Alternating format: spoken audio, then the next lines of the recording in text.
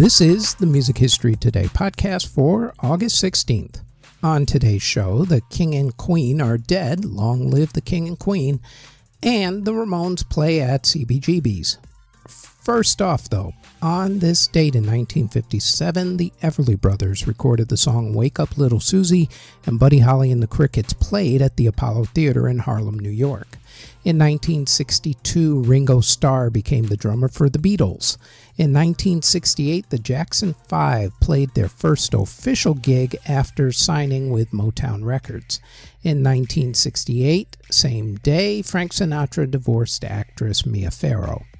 In 1969, David Bowie played at a free music festival that was held in Buckingham, England. It was held on the same days as Woodstock, which is why no one really even talks about it. In 1969, same day, speaking of Woodstock, it was day two of the original Woodstock Music Festival. Richie Havens performed his song Freedom, which became one of the anthems of the late 1960s. Also in 1969, Crosby, Stills, and Nash played together for the first time, and the Supremes performed with the Jackson 5 in concert. In 1974, the Ramones played their first gig at the legendary CBGB's Rock Club in New York City. In 1975, Peter Gabriel left Genesis for a fairly decent solo career, I would say. Actually, Rock and Roll Hall of Fame inductee solo career. In 1980, Bill Ward left Black Sabbath and Jools Holland left Squeeze. In 1985, Madonna married actor Sean Penn. In 1986, drummer Rick Allen returned to Def Leppard a year after losing his arm in a car accident. In 1986, same day, Run DMC became the first hip-hop act to have a number 1 album on the R&B charts when their album Raising Hell hit the top spot. In 1996, over 50,000 fans at Yankee Stadium set the record in the Guinness Book of World Record for the largest group dance when they played the Macarena. Yeah, that was a thing back then. In 1996, Seal, Mary J. Blige, and Jon Bon Jovi performed at the concert event Sound and Vision, the Carlsberg concert. And in 2003, the United States Postal Service put composer Henry Mancini on a stamp. In classical music, in 1846, composer Gioacchino Rossini married his wife Olympe Pellicier, and in 1876, the opera Siegfried debuted. In theater, in 1975, the musical Rodgers and Hart closed on Broadway. Albums that were released on August 16th include in 1971 when the Rolling Stones released Gimme Shelter. In 1976, the Temptations released The Temptations Do the Temptations. In 1985, Miami Sound Machine released Primitive Love. Also on that same day, the Red Hot Chili Peppers released their album Freaky Styley. In 1987, Mayhem released Death Crush. In 1989, the Red Hot Chili Peppers released Mother's Milk, which became a huge album. And the Ethiopians released Dread Prophecy. In 1993, All released Breaking Things. In 1994, Neil Young and Crazy Horse released Sleep with Angels. Prince released Come. Crosby, Stills, and Nash released After the Storm, and the Barenaked Ladies released Maybe You Should Drive. In 1999, Tricky released Juxtapose, and in 2002, Frank Zappa released FZOZ, otherwise known as Frank Zappa Oz. Singles that were released in the UK on August 16th include in 1967 when the Beach Boys released Heroes and Villains, and in 1979 Paul McCartney and Wings released Getting Closer. Meanwhile, in America, in 1965, Paul Revere and the Raiders released Steppin' Out. In 1966, the Monkees released The Last Train to Clarksville. In 1973, B.W. Stevenson released My Maria. In 1977, Debby Boone released You Light Up My Life, which became a huge song. In 1983, the Moody Blues released Blue World. In 1986, Eddie Money released Take Me Home Tonight. And in 1995, Janet Jackson released Runaway. Before we go any further, we'd like to tell you that there is now a Music History in Depth podcast where we go more in depth on a few of the events that happen in music history for that particular week. The Music History in Depth podcast runs every Tuesday on YouTube or wherever you get your podcast from, as does our Music Halls of Fame podcast, which talks about a member of the Rock and Roll Hall of Fame along with other Music Halls of Fame, museums, and walks of fame. The Music Halls of Fame podcast drops every Thursday and can also be found on YouTube or wherever you get your podcasts. Now, back to this podcast.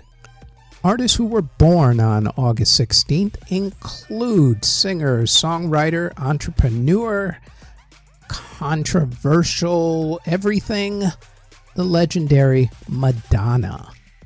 Also, rapper Young Thug, rapper Bia, Jack Met of the group AJR, singer Sabrina Nicole Stewart, Emily Strayer of the group The Chicks, otherwise known as the Dixie Chicks, depending, singer Vanessa Carlton, and Bob Hardy of Franz Ferdinand, James J.T. Taylor of Kool and the Gang, Tim Farriss of INXS, Chris Pedersen of Camper Van Beethoven, drummer Scott Asheton of the Stooges, Barry Hay of Golden Earring, Gordon Fleet of the Easybeats, singer Gary Loizzo of American Breed, Kevin Ayers of Soft Machine, singer Barbara George, singer Ketty Lester, bandleader Ernie Freeman, singer Eydie Gormé of the group Stephen Edie, the duo that is, Al Hibbler of Duke Ellington's orchestra, Lee Beasley of the Florida Boys, singer Billy Joe Shaver, banjoist Eric Weissberg, who played on the song Dueling Banjos from the movie Deliverance, singer Sheila of Sheila and B Devotion, singer Grayson Chance, pianist Joe Seeley, bassist Matt Lukin of the group Mudhoney and also the Melvins, singer Robert Squirrel Lester of the group The Chi-Lites, bandleader Bill Evans, guitarist and harmonica player Eddie Kirkland, saxophonist Danny Moss, pianist Mal Waldron, musician Howard Lucraft, jazz trombonist Murray McEachern, bluesman Melvin Little Son Jackson, and composer Karl Hoschna. Artists who unfortunately passed away on August 16th include composer Pietro Sandoni, who passed away in 1748 at the age of 63. Violinist Henri Jacques de Croes passed away in 1786 at the age of 80. Harpsichordist Vincenzo Manfredini passed away in 1799 at the age of 61. Composer Eduard Brendler passed away in 1831 at the age of 30. Composer Edmund Passy passed away in 1870 at the age of 80. Composer Charles Lenepveu passed away in 1910 at the age of 69. Composer Karl Munzinger passed away in 1911 at the age of 68. Composer Frank de Stucken passed away in 1929 at the age of 70. Blues pioneer Robert Johnson passed away when he was poisoned in 1911 at the age of 27. Violinist Roman Podluski passed away in 1944 at the age of 28. Composer Nico Richter passed away in 1945 at the age of 29. Composer Pedro Saran passed away in 1959 at the age of 74. Harpsichordist Wanda Landowska passed away in 1959 at the age of 80.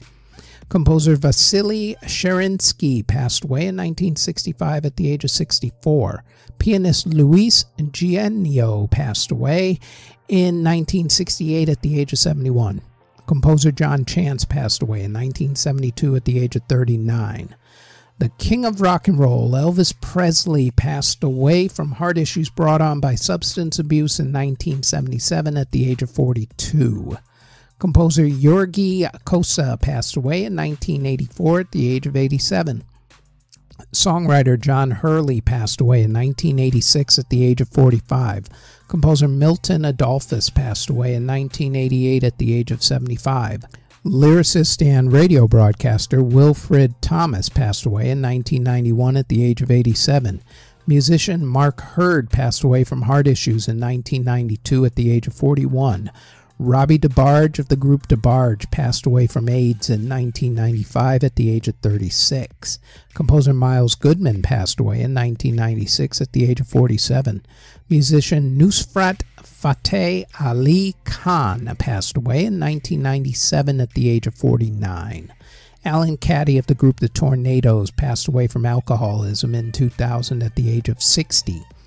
Keyboardist Andrew Jackman passed away from heart issues in 2003 at the age of 67. Bluegrass musician Vassar Clements passed away in 2005 at the age of 77.